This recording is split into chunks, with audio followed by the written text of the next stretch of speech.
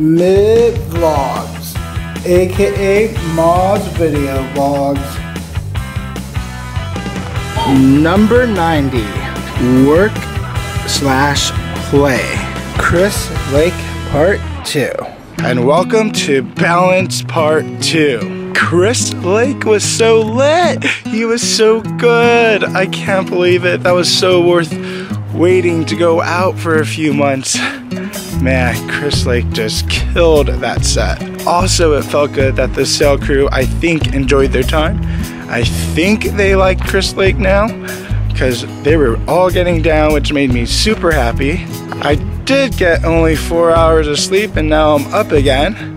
I don't feel bad at all, so that's a plus about work and play balance. I do have work in an hour, so I'm walking to the Opera House nine to five with four hours of sleep. but you know what? I feel good. I could do it. Yeah. I really miss going out and dancing. And so I gotta add that back in my life to just fully make me happy. Because making videos make me happy, but it's a lot of work. Like I'm working, working, working. I gotta put a little play in there. I gotta balance, like I said. I also have to take accountability that I didn't finish the video last night so I could post it this morning because I went out. Maybe what I learned from that, from playing, would be to finish my video before I go out. and then I could just schedule it to post it this morning. But now I have to work on my video during the break of my work and then just post it as soon as I finish.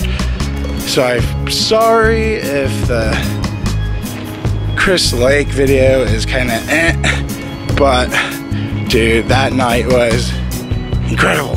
So yeah, whatever you like doing, whatever whatever your play is, make sure to balance it with your passion, aka your hopefully your work. And once you balance those two, your work and your play, I think your life will get a hundred times better. Maybe. But like I said earlier, or like in most of my videos, take what I say with a grain of salt.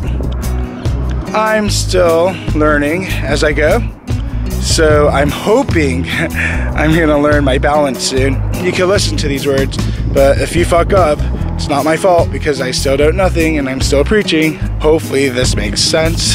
I know that I can't go out every weekend, but I know I can make time to see my favorite DJ if they're in town.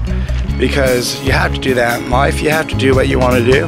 You have to go see the things you want to see, hear the who you want to hear, because you only have one freaking life. And I always have Gary Vee's voice in my head when he preaches about time and how important time is and how we don't think about time that much. So work and play balance is definitely something to consider in your life and in my life. Chris Lake was so lit.